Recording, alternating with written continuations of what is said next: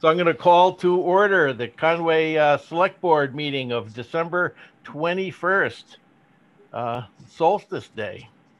Uh, it's uh, 6:03 p.m. Uh, by Zoom, as usual, these meetings are always accessible on the either on channel 23 or 12, or through uh, fiber uh, video on demand on our FCAT Media YouTube channel. So they're always there. So we have uh, minutes of the last meeting. Uh, did everybody read the minutes? Yeah, they're great.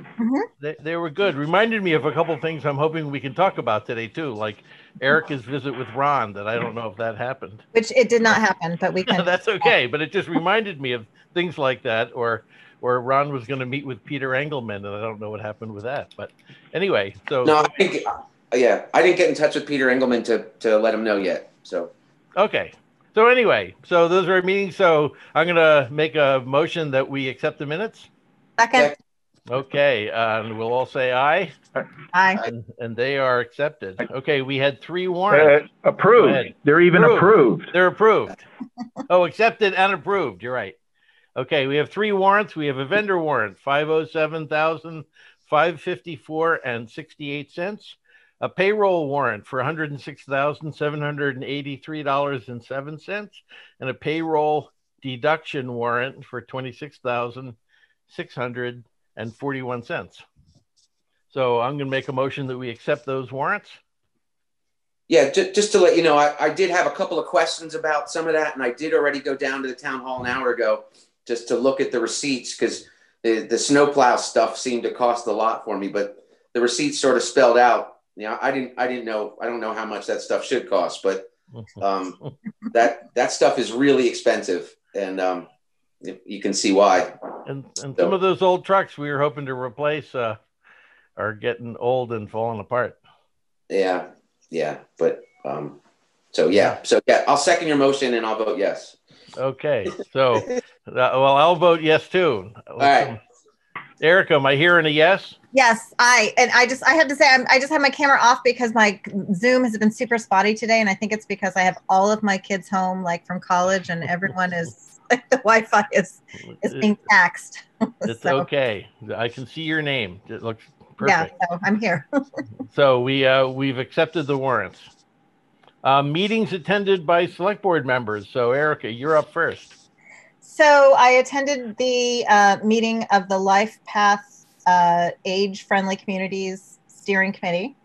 Um, and it was uh, basically just sort of a, th- that was the initial meeting of all the people who are involved in that project. Um, and the next steps are, um, let me just look at my notes here.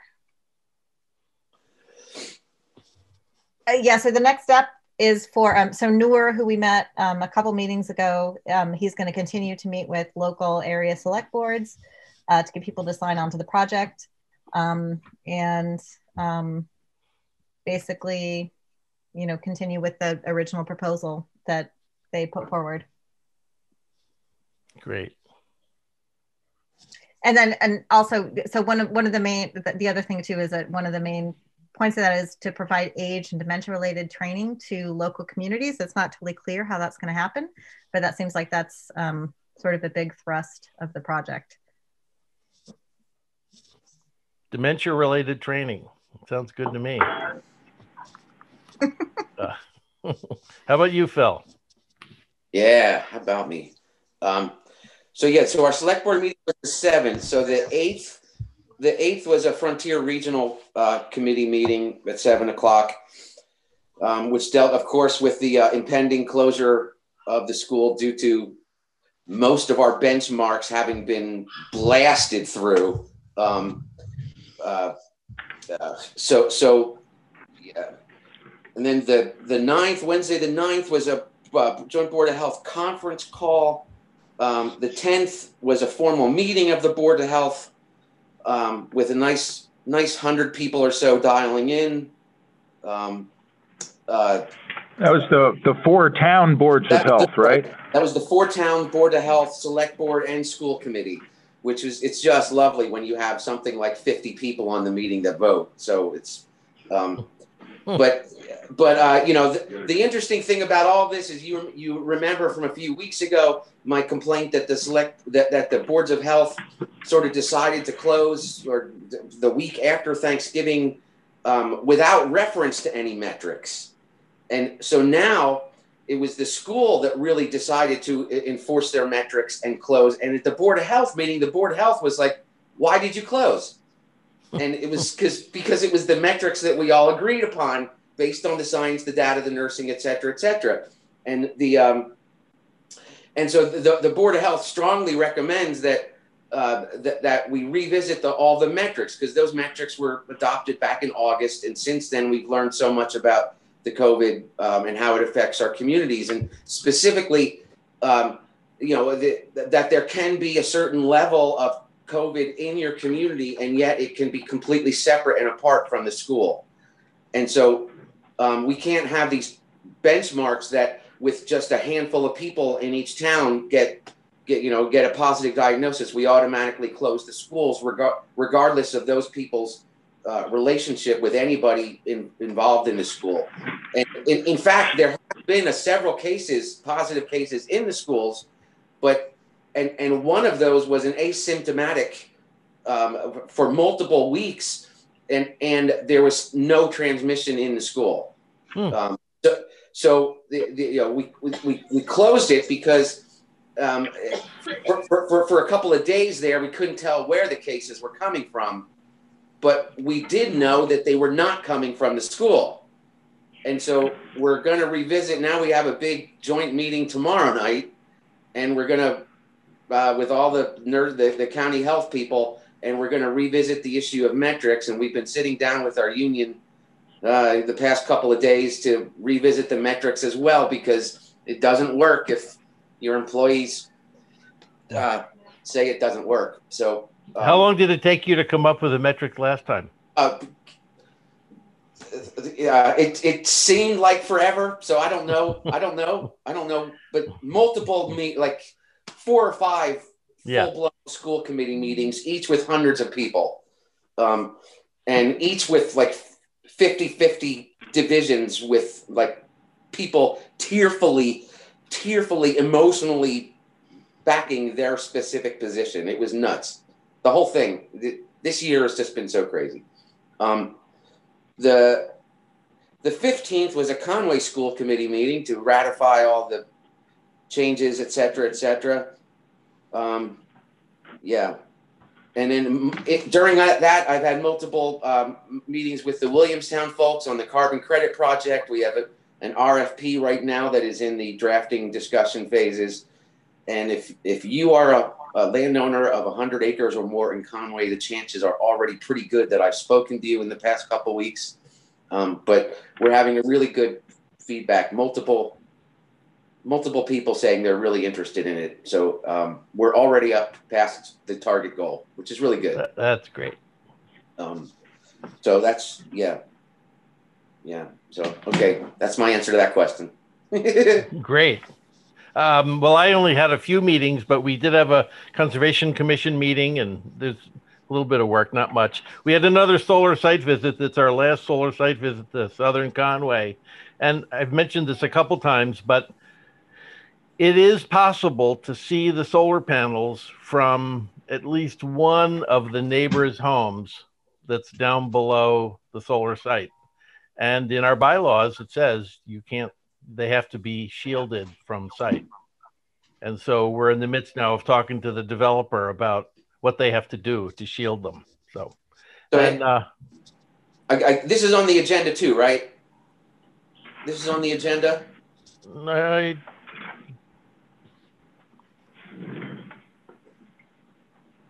I didn't think it was, but all right. So so then my question, you know, any any reason why it took so long for everybody to because planting trees in the middle of winter is a really um, difficult, and uh, spring is not good. You want to plant your trees in the fall. Well, the neighbors are happy to not deal with it, and it won't be trees that get planted. It'll be some kind of hedges, but yeah, ar- arborvitae is always the low cost solution to these things. Well, we've asked the solar developer to give us a their plan of how they're going to solve this. They yeah they they always end up at arborvitae. It's the most the most heads for the least money. Great. Uh, Uh, and we, Tom and I had a phone, a, a Zoom call with a fellow named Mick from the MMA, who wanted to talk about. Uh, we talking about about uh, uh, health insurance for folks that are over seventy. We have a couple. We have a policeman and a fireman who are over seventy, and and and uh, there's question of whether they can be covered by our current insurance policy. So, so we're looking at a, a, a separate policy for them.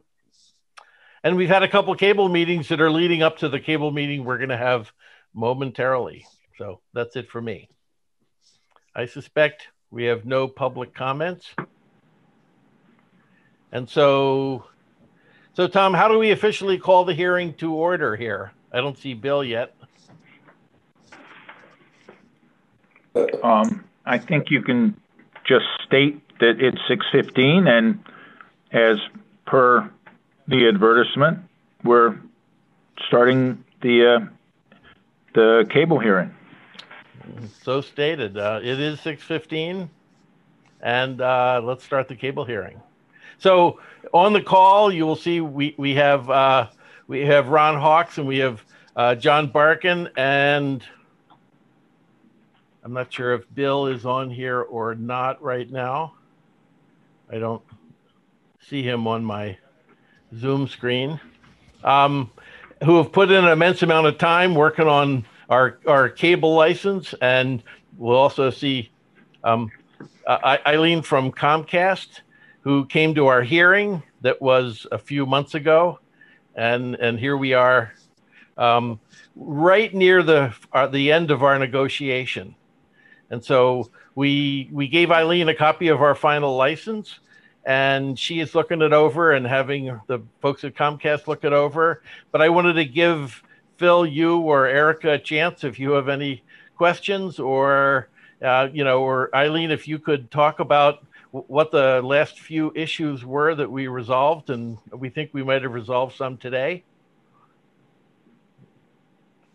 I, I could lay them out too if you'd like, but Yeah, so why don't, maybe you should just lay them out for the committee and then I can join in.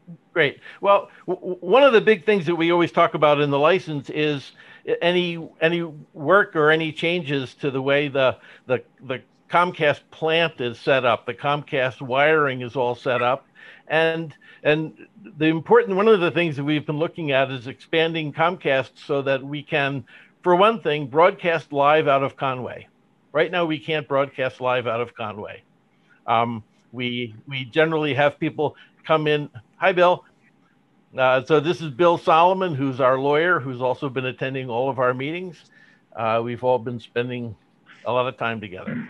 So, so we've been trying to figure out how to broadcast live out of Conway so that our, our select board meetings could be broadcast. Now, once we started doing this nine months ago, using the, during the pandemic and using Zoom, these are actually being broadcast as live as this actually is. We just put our Zoom uh, recording up on, uh, uh, you know, on our cha- on our channel, and people can watch this Zoom meeting live. But once we go back to in-person meetings where we have cameras and or when we have a hearing over in town hall, we can't watch those live. So we have to record those and then hoof that tape down to FCAT where they where they process it and they put it up on the server. And it's a day or two until it's visible. And so we'd really rather they were live. So we've been spending a lot of time with Comcast trying to decide what would it take to do that and how and then who would pay for it. And we've had a number of designs. Um, and this is Bill Arduzer, who also is on the uh, cable committee. Um, so we've gone through a lot of designs uh, with Comcast, looking at various ways of doing it, and we finally came to an agreement with them over over the license and how to do it, and then and how much they're going to pay towards it and how much we're going to pay towards it. And so this is going to be adding a fiber optic line that's going to go from town office to town hall. Um, adding the uh, adding all the electronics to be able to to transmit a camera from town hall over to town office um, and choose whether you want the camera from town office or town hall to transmit its uh, its content down down to the Deerfield server and then bring it up from the Deerfield server um, Yeah. directly to the head end down in down in Deerfield. Hey, None of, None of which we can do today. so so we've spent a lot of time trying to figure all that out, and we finally come to an agreement. And uh, and the very last thing that we were working on would be that Comcast wanted to make sure uh, it had to do with the ownership of the equipment, and then and we think that that that we're more than happy to let Comcast own the equipment, and then they will maintain it and they'll re- they'll fix it when it breaks, and and and and we're happy to pay for it as long as as long as it all works. So, Well, yeah, well, just, just Bob, if I could just say, you- Sure. you're all like, I just don't want to mis- mislead. We're, we're, we're paying for, uh, as you said, uh, certain equipment that's going to be Comcast owned. And then when they own it, maintain it, repair it, and if necessary, replace it, those costs are theirs. So I, I know you, you understood that, Yeah, but just yeah. for the board, that, that, so we're, we're paying, uh, for the initial cost of certain equipment, um, as exchange for the full deal, which includes capital dollars. Know, sometimes the way this happens is that Comcast doesn't take money from the town, but they they put all of that all of the expense of it on the on the subscribers. You know, in other words, they charge so much per subscriber per month, and the subscribers end up paying for all of that equipment. And we want to keep the rates here in Conway really low. We we have not been um, we have not been paying FCAT all of the money that we've been getting from Comcast, and we have so we have a pool of savings that we can use to pay for this equipment in addition to what Comcast is going to give us as part of this license. And so it won't, it's not going to cost the town any money, but we would rather not have the subscribers in Conway pay either.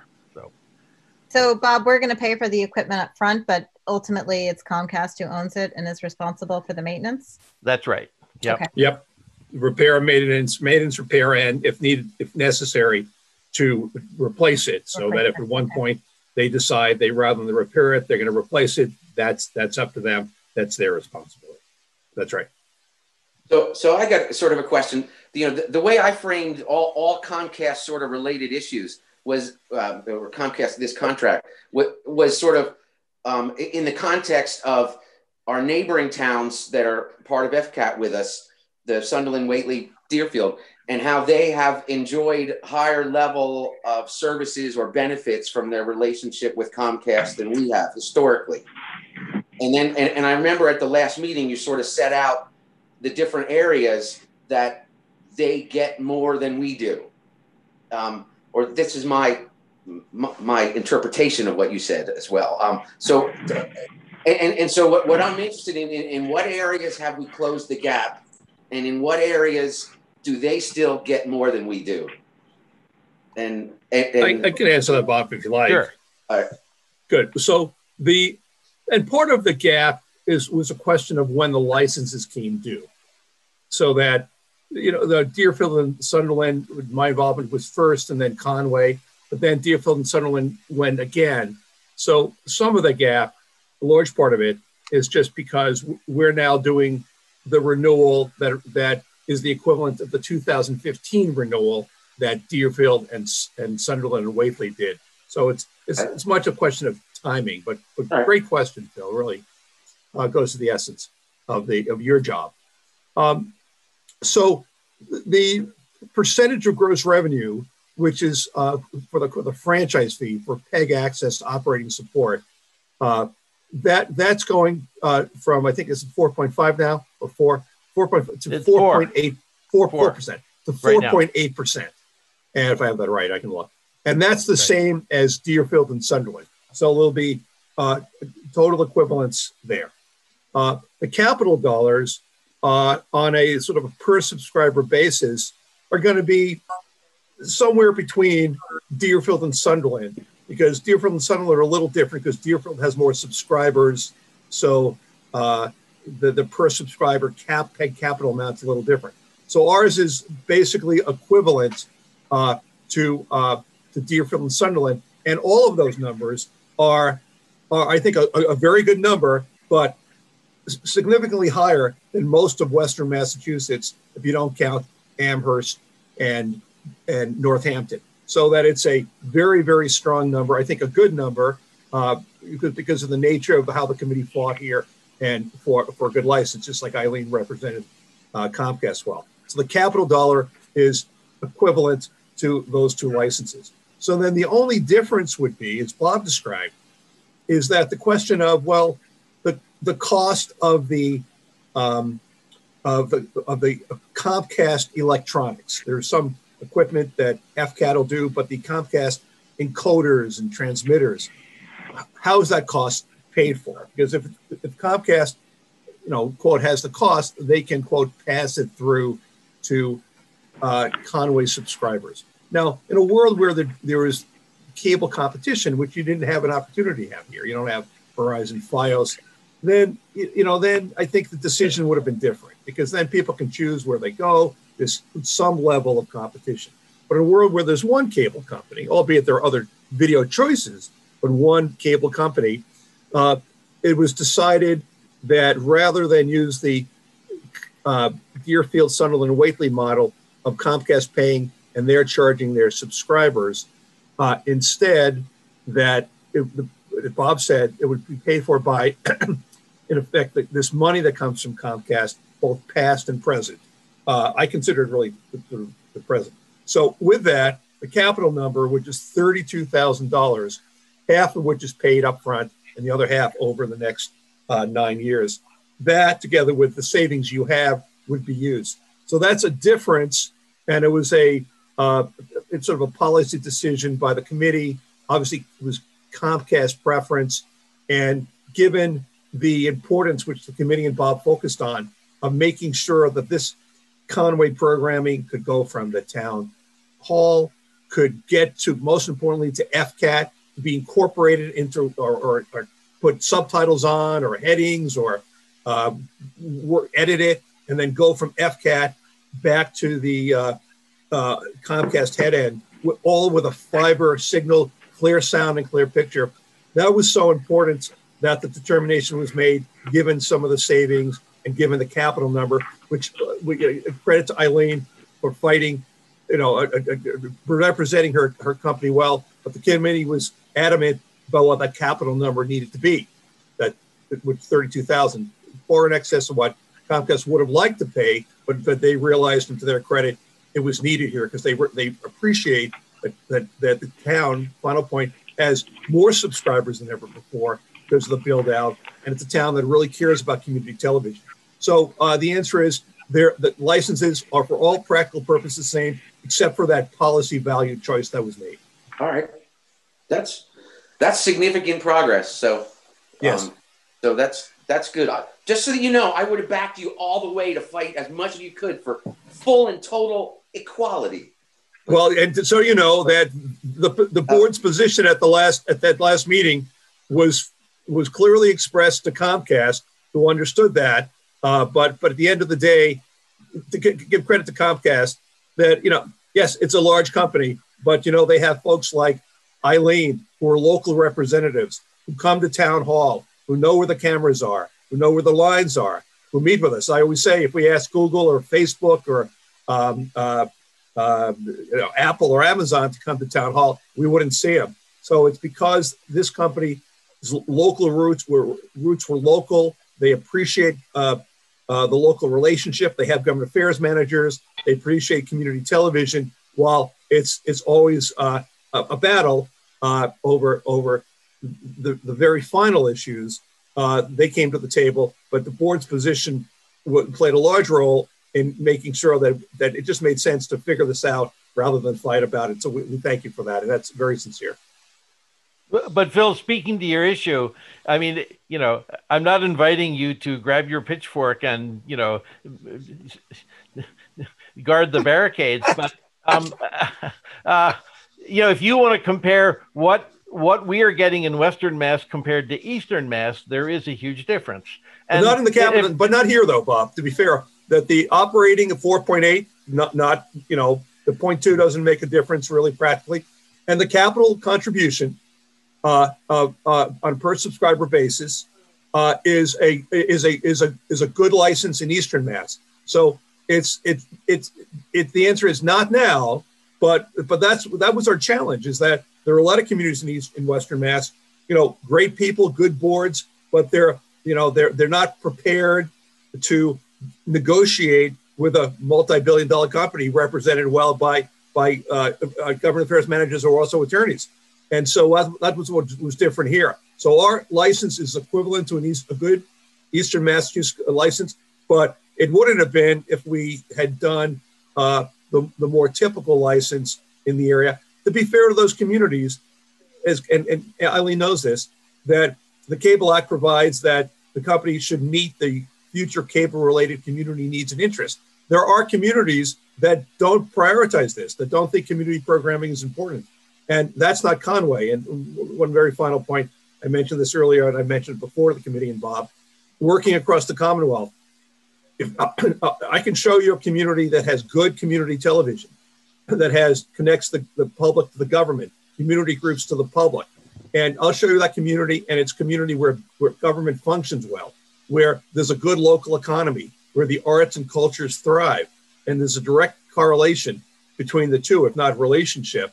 And I think one of the reasons we have a, a Eastern Mass equivalent license here, or Central Mass, particularly Eastern, is because of the importance of community television, as was shown at the public hearing.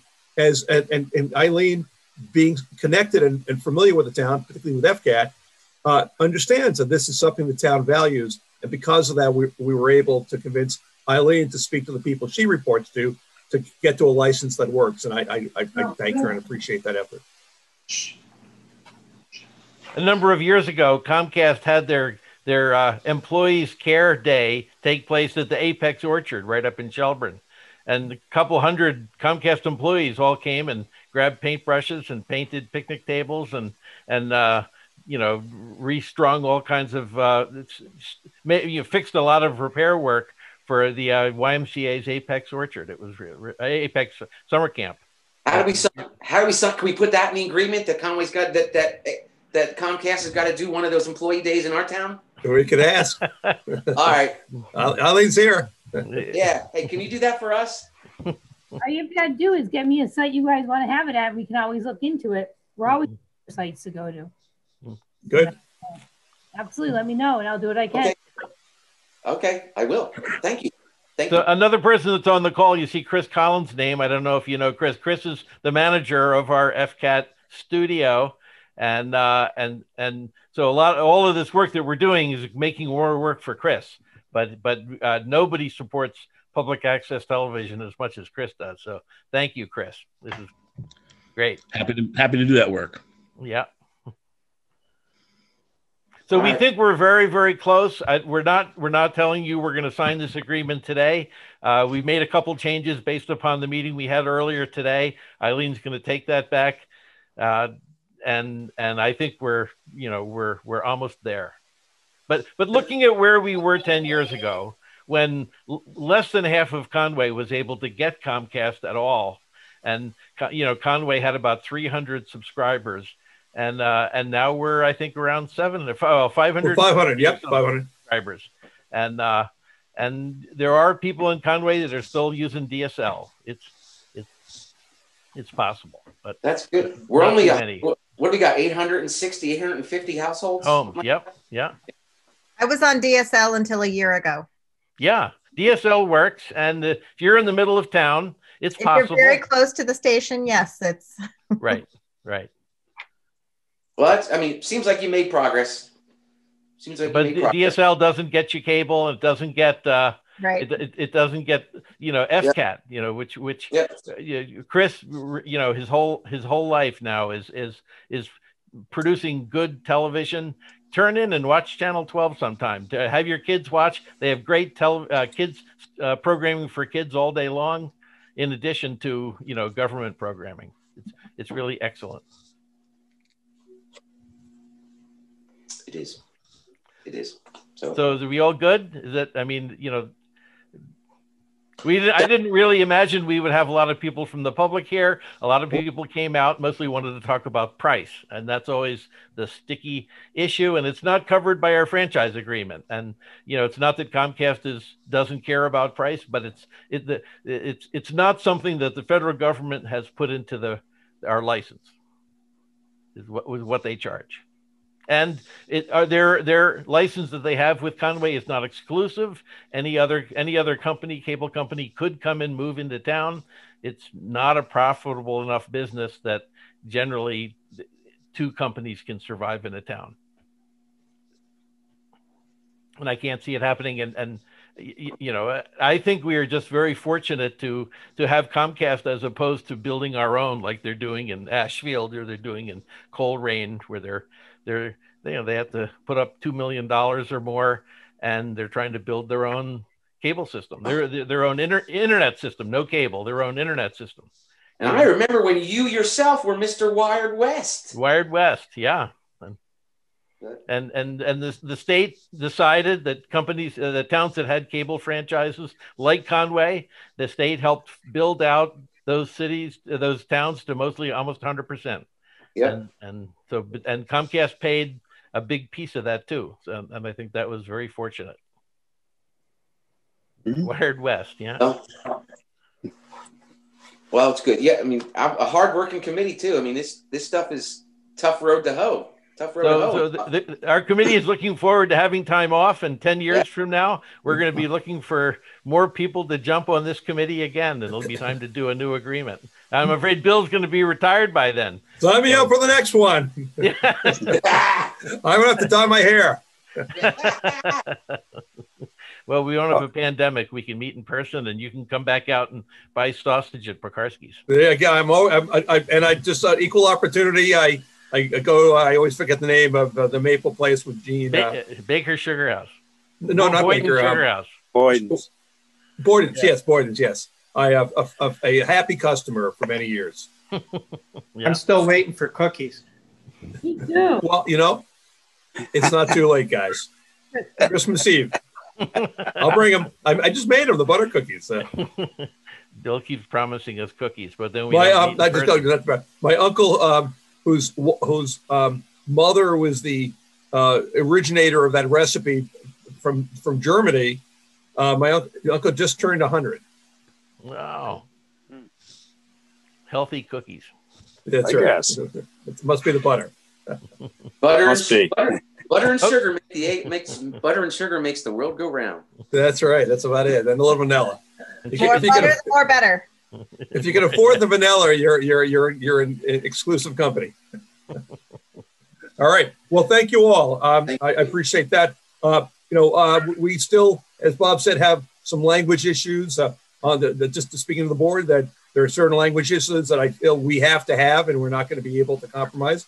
The more we are the things we can, but on fundamental issues uh, that are importance, and we, we're always trying to be fair, but we need to protect the interest uh, going forward.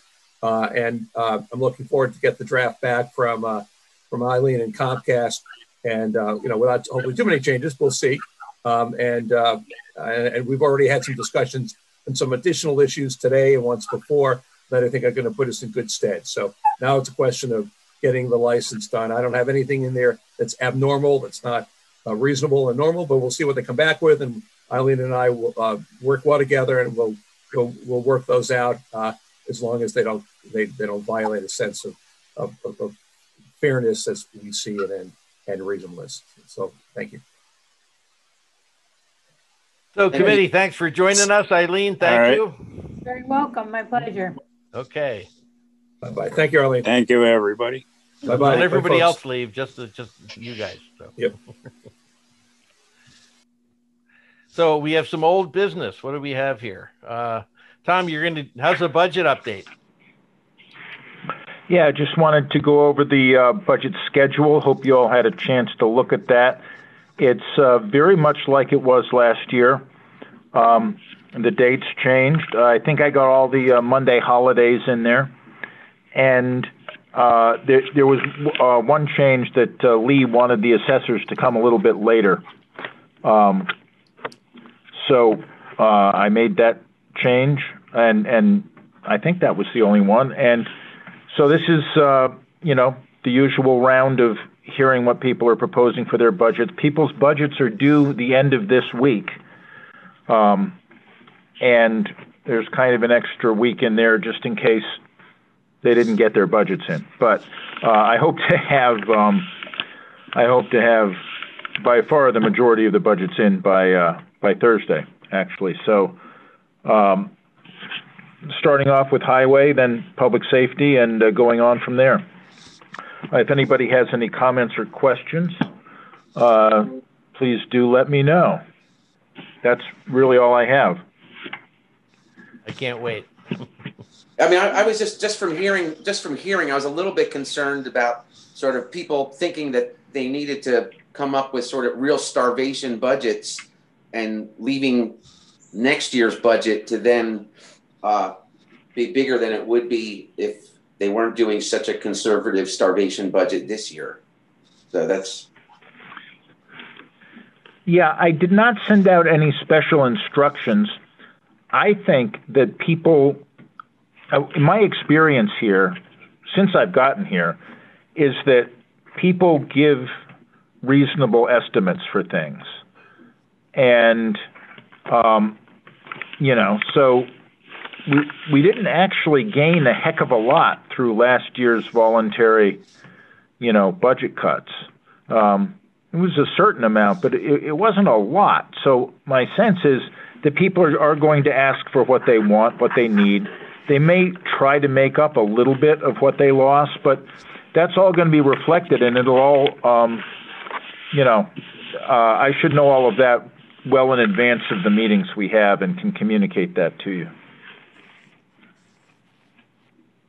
Great. Yep. So that's what. So when do we switch over to every week? Uh, that that first Monday in January would be the first of those. Ah, yes. All right. Keep you busy during during the dark winter. So Tom, we didn't approve the stipends last week. Did we put them off? Let- yeah. Uh, I, I see it on the agenda, but I I thought we had we had at least talked about it. Oh boy, did you see Alan's email? no, Yes. you, you uh, just to answer Bob's question, uh, you did not approve the select board stipends, and you know, Here's the. so here's the thing. I, yeah, I would advise uh, approving those. Yeah. So so here's the thing. Like we talked about it, and um, but it was not that was not communi- It was not communicated to Jan, or Jan didn't know that we had talked about it and that there was an issue. And Jan sent out all the three checks. Yeah, I got a thing in the mail that said, I mean, I didn't, Good. I, Well, checked my, you, I got a thing that said I got Yeah. paid. you deserve that check. And then I got a thing And- that said that we're not supposed to get paid. I mean, I, and I abstained from the last vote. I wasn't totally clear on what the finance committee was voting on. Yeah. Um, first, it, it's okay that you got the checks. We will have to move a little bit of money at the end of the year. Um, but, you know, so what's done is done. Um, and what the finance committee was, was voting on was the, the original, um, of what the select board originally approved was, which was to give, um, which was to ask them to uh, res, uh, restore the stipend that, that John O'Rourke gave up, um, which would presumably be, be Erica's, and Bob Armstrong also asked that, you know, since FY finances were fine, um, he said, you know, I'd like you to consider giving me my stipend back too. And they declined to do either of those. Um, and I, I'm not going to speak for them. Um, I, but you know, Alan did write. Um, I saw they had a lively discussion. Which I, I, I, I mean, I abstained from that vote myself. Like, I just was really, I mean, that must have been a very interesting conversation. Yeah. Well, I, I, I still think that we should, especially now that they've been given out, that we ought to approve giving them out. And Yeah, that was my We can question. deal with what we do about it. Yeah, There's lots of solutions that we can deal with soon or later, but, but, uh, uh, but so as I know, so I don't know if you have any more to say. Otherwise, I would make a, a motion that we approve. Um, we, we, we, we, uh, we approve the, the original, the normal select board stipends. We undo the earlier select board vote to I not do this. Yeah, I, I think, I think the motion right now is to approve these three $900 stipends. Okay, Uh, which is a, that's, that's the semi-annual payment. That have already, but that's like money that's already been paid. So that was my question. I mean, if we decided we weren't going to do those stipends, like we've already been paid. So where does that money come from and does it have to be given back? Um, well, it, it is true that you, you, you should approve what was paid, which is the semi-annual $900. Um, at the end of the year, I've spoken with Bob about this. Um, and since he had uh, voluntarily decided to give his up, he's willing to pay back the difference um, for what would otherwise send the select board budget into deficit. Then at the end of the year, by a combined vote of the select board and finance committee, that money can be moved back into the select board account, taking it out of deficit. All right. Okay. I, I, mean, I feel like John and I caused this problem, and there isn't much John can do about it. But, but, and and I originally, and I still believe this was a good faith thing that the board chose to do, or some of us chose to do, feeling bad that we were not giving any raises to any of the town employees, and and uh, and it unfortunately had this this cascade of unfortunate things after that. But but but it's there, it's not difficult to solve. Especially things that can be solved with money are always easy to solve. So It's not a lot of money either. and it's not a lot of money, right? So and and, and we we learned a lesson. I mean, and I we're all willing to say that was that was a mistake that we shouldn't have voted that for those of us who voted for it. So you can smile, Phil. That's okay. But Uh, okay. yeah, it was a It's- mistake. Yeah. Sorry. Um, all right. So, so moved as to uh, Tom's phraseology or phrasing of it. Okay. Okay. I'll second it. And everybody votes aye. I see Phil Yeah. nodding. Aye. Yep. Yes. I don't see Erica nodding, but I trust that's on there. So, Aye. so it's unanimous. So we, we vote to uh, re- re- replace the uh, stipends. Okay. And anything more happening with 69 Main Street? Uh, I, I just need uh, approval to allow um, somebody to go on the uh, site and look around So, Tom, if, if you for, uh, recall, for the, Remember when I sent him that the the I sent the owner the email, and it was based on my conversation with him, and I- and I said in in that email, um, you know, we, we need to have people walk on the, the you know walk about the property, and uh, to to uh, if if there's any problem with that to let me know. And he let he immediately responded with some concerns of his, but he had no problem with that in in that email. And I think that's a perfect way to leave that issue because we've asked and uh, and we have a response or a non-response in this case, which is what just as good if you ask me. So um, yeah, I, do, do I have a copy of that email?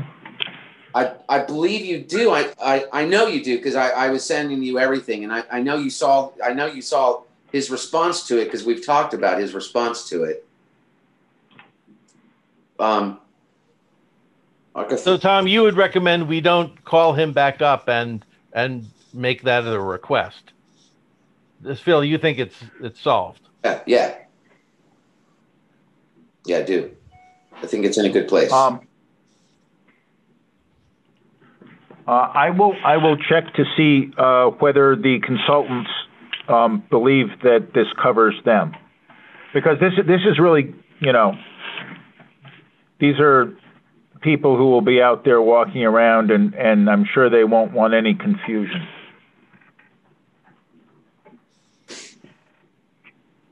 Okay, well, so Tom, you'll look for that those emails and and forward them to the consultant.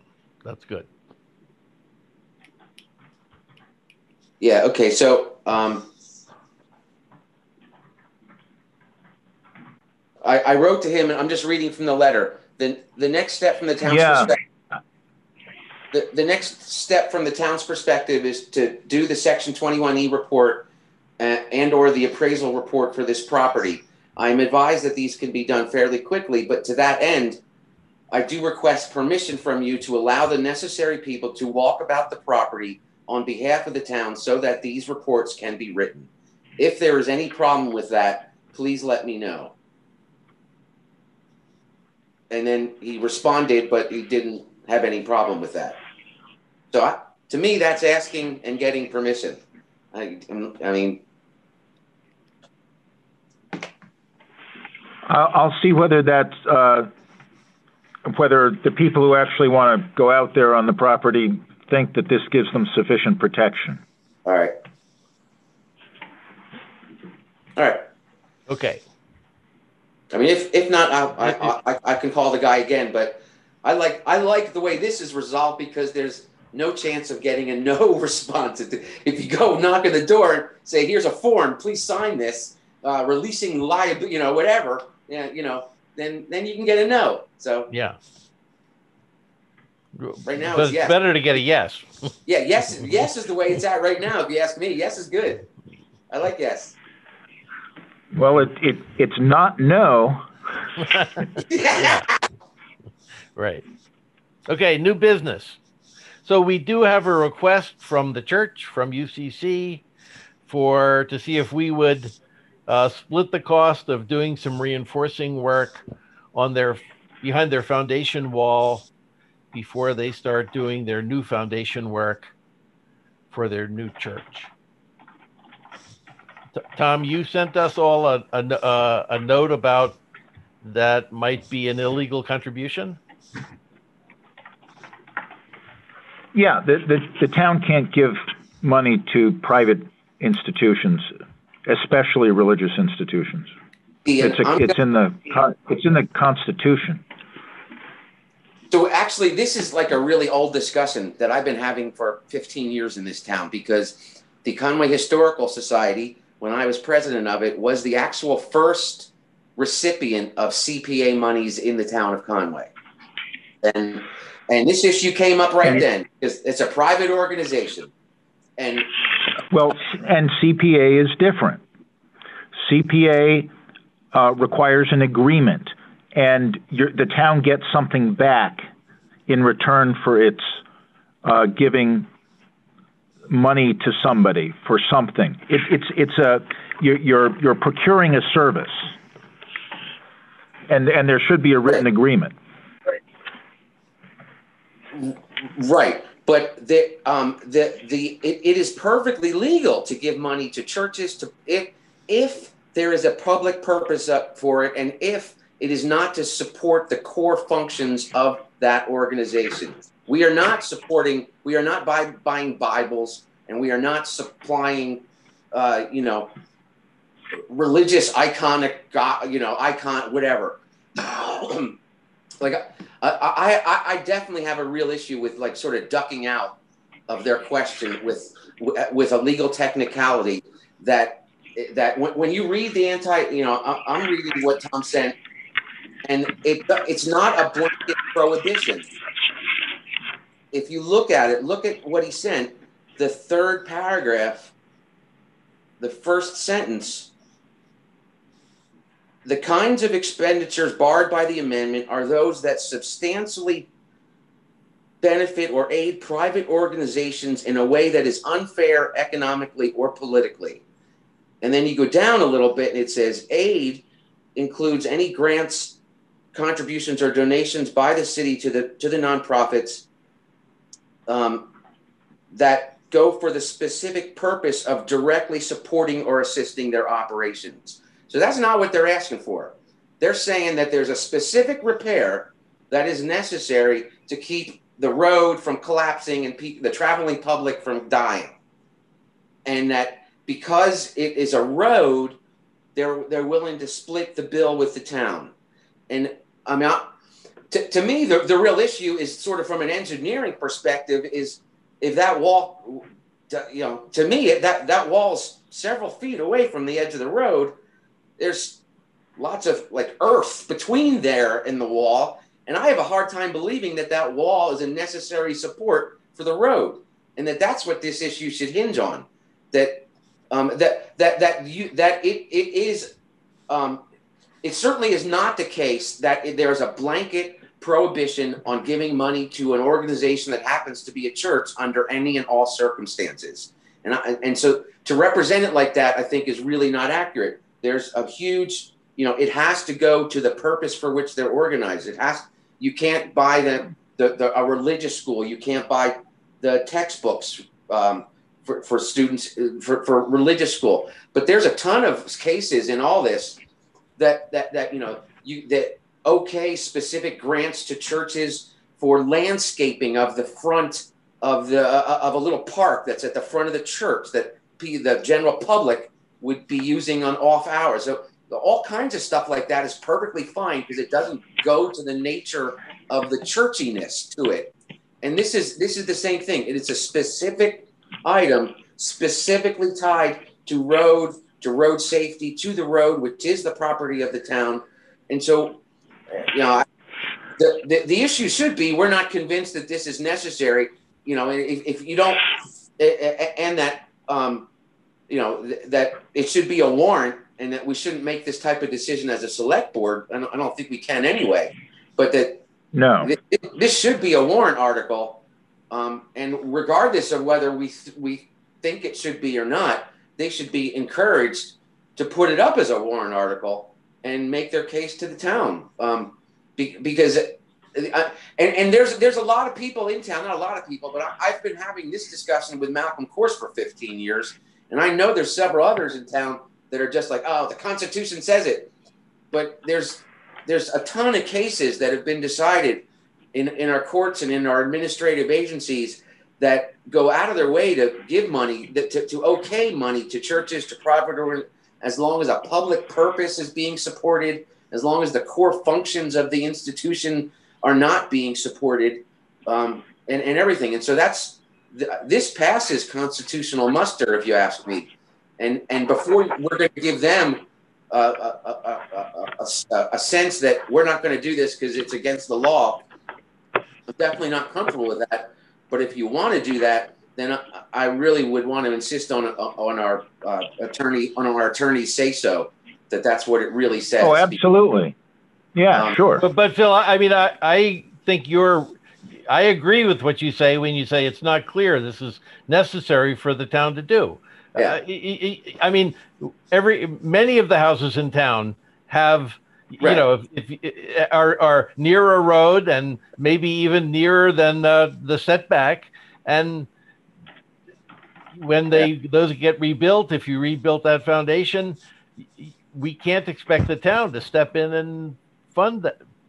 That and work. Like, but but I'd like to know if that's a real concern. I mean, I you know, I, well, I so know. I was you know maybe we should. I would love to go and actually look at it. I I you know with Ron sometime and and. And I mean, Ron does not think that it's a problem. Ron does not think that we need to yeah help with you know shore up that wall or however you want to phrase it and i don't i, I well, don't think it, it's their responsibility to keep it from affecting the road.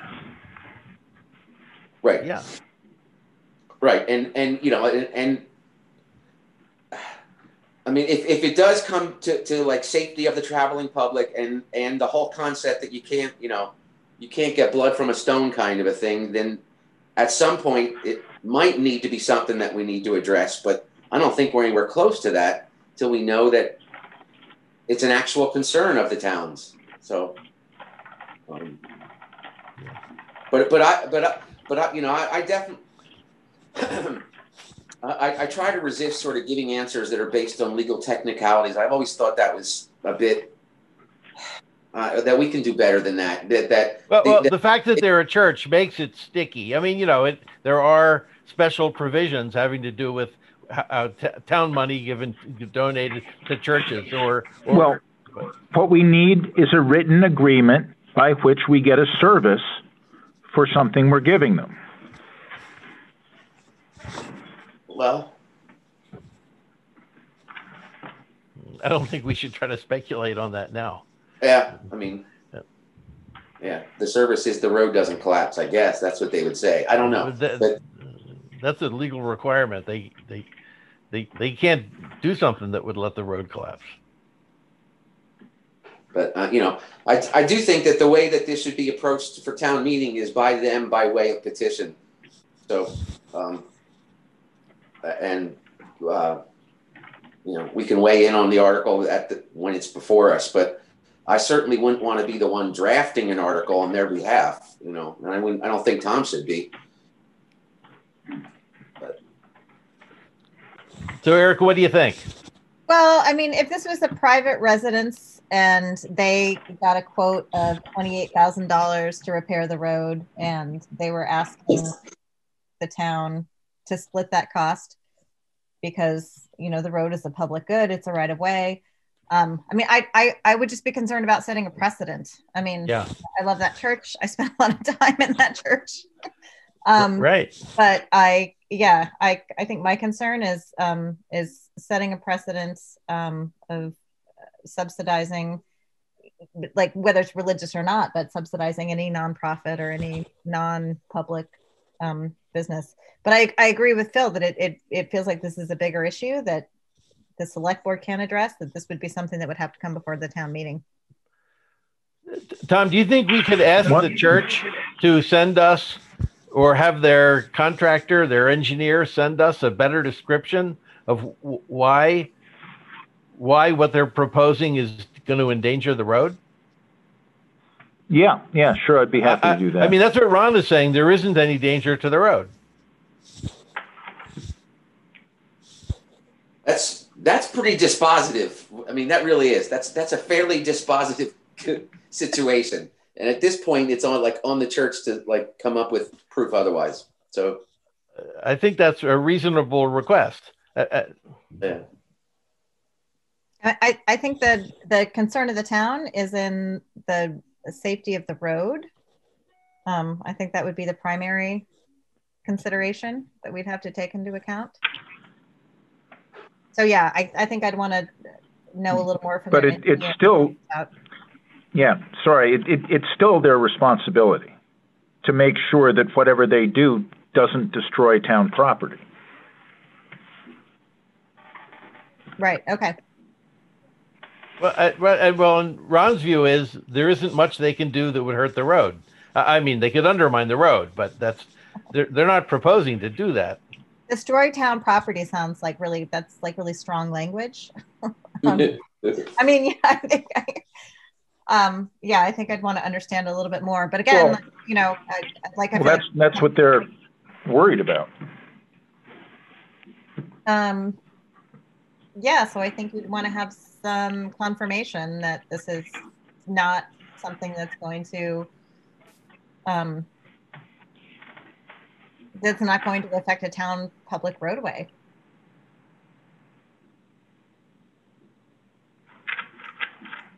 And I guess I, I, I mean, from, from the letter here that I'm reading, I mean, it's, it's very, it's not specific at all. It just says that, like they need to reinforce the foundation. Um,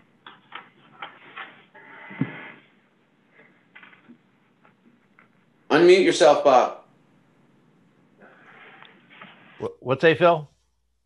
I said unmute yourself. No, You no, no. I, I muted myself on purpose for a second there. That's okay. Sorry. okay. Okay, so, so let, let, um, I'll, I'll, let me come up with a draft. Um, uh, maybe I can work with Bob on that. Sure. And Ron. But, but yeah. Okay. Okay.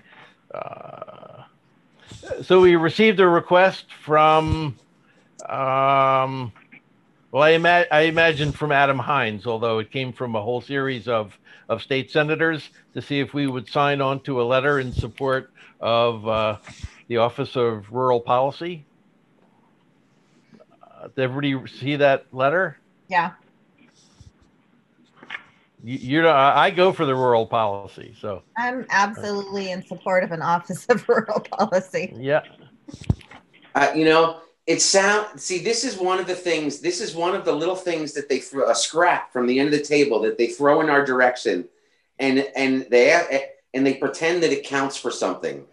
And you know, the rural pol we we know what policies we want. We we just want them to fund their actual commitments that they've already made. That's all. That's all I ask for my state.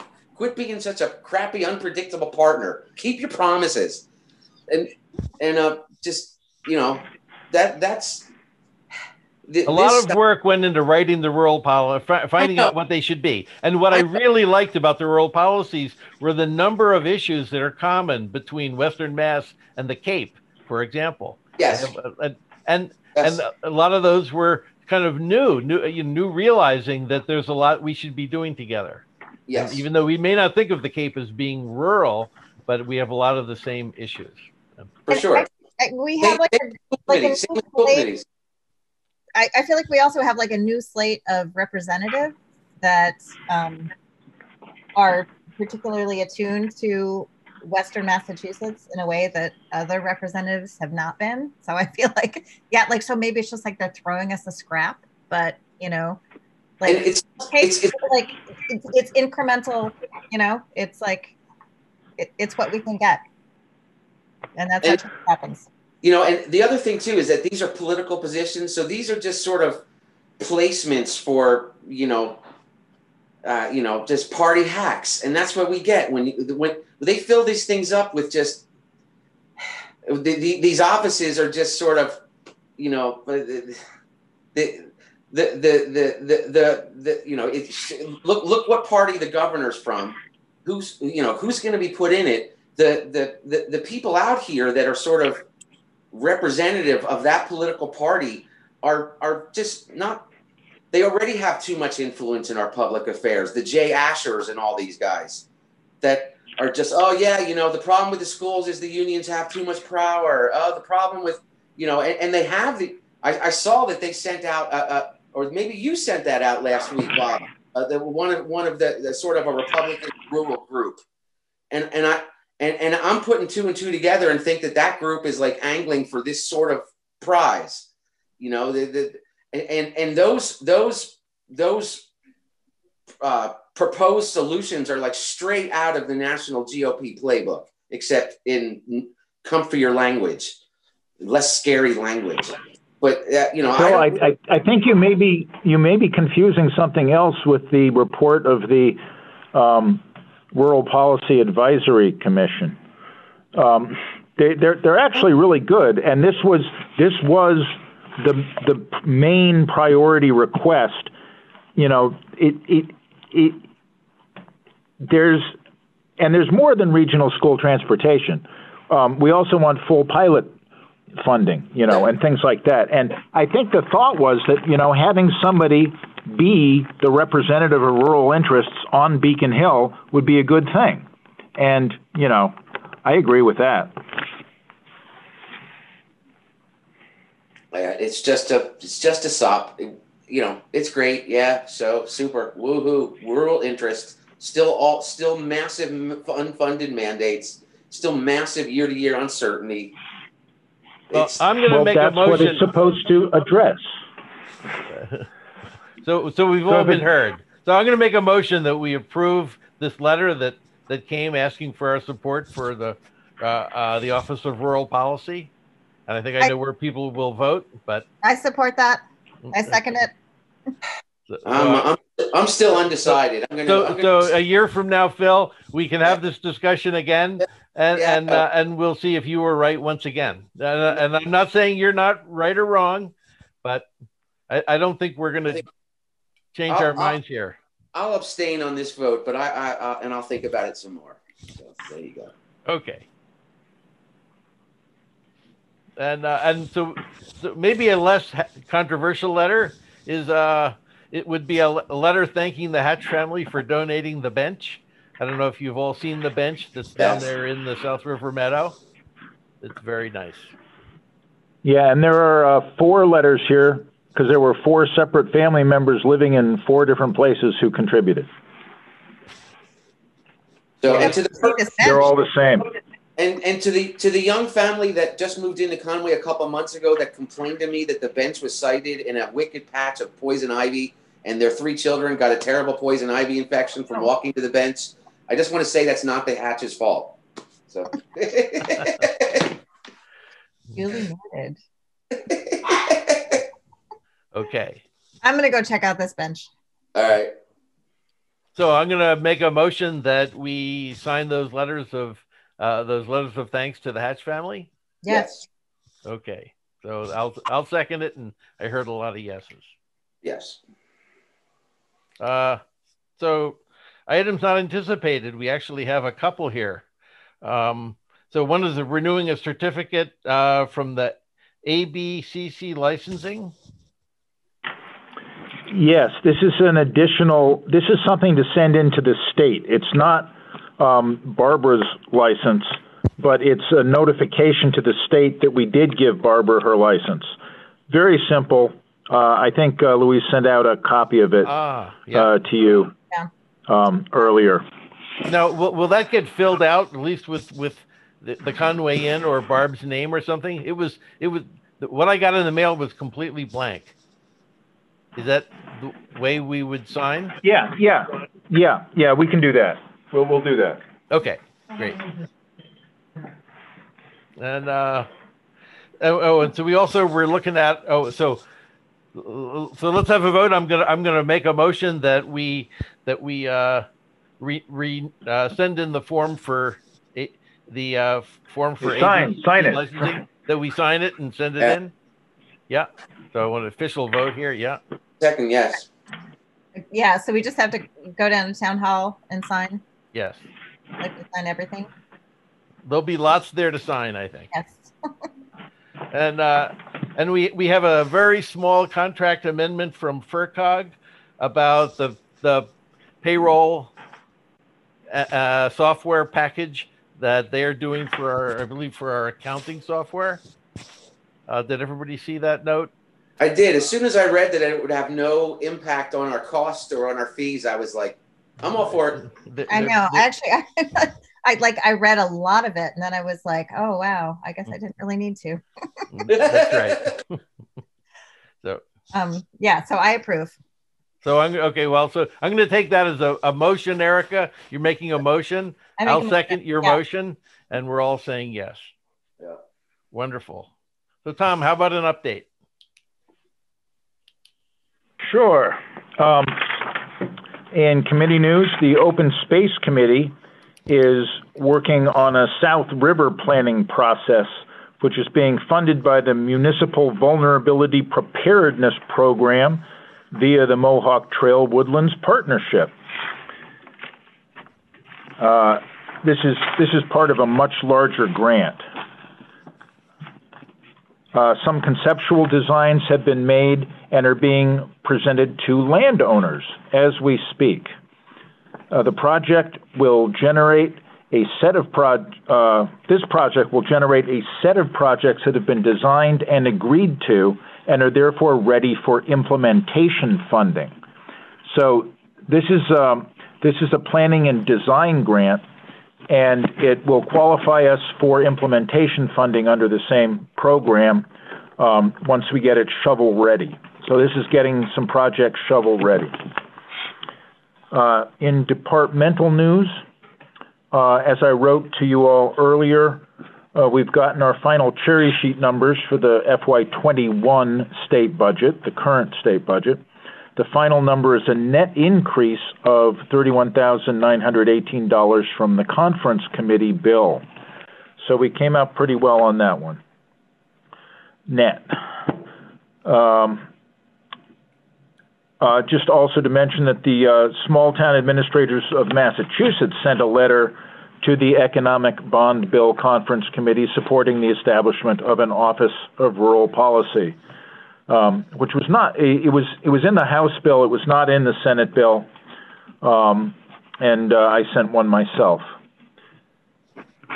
Uh, the new round of Community Compact Best Practices grants has been funded and I expect to apply for two IT related grants since we did not get the application we submitted to the IT program approved this year, uh, which is more competitive than the best practices grants.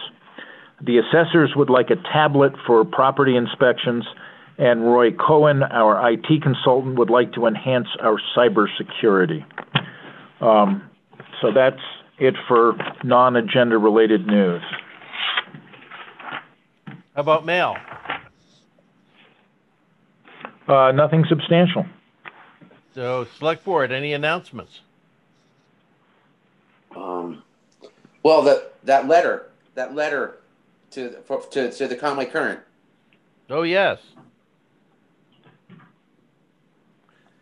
So the Conway Current did request that the select board send in, uh, might, might want to consider sending in a letter for their, uh, their New Year's edition.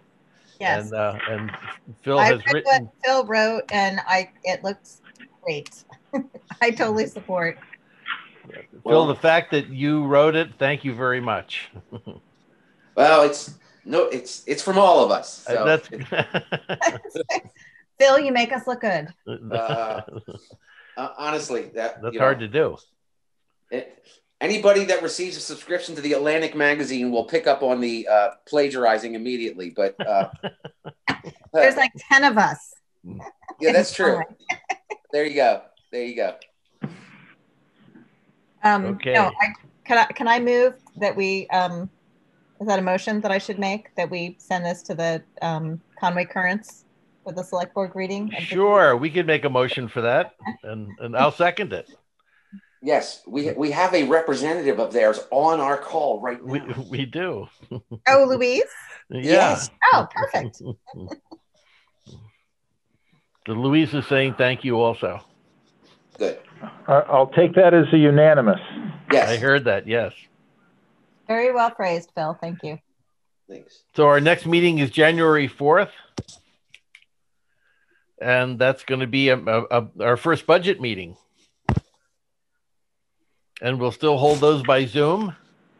And uh, Tom, will that be our our first meeting of every every Monday instead of every other Monday? Yep. Starting January 4th? Yes.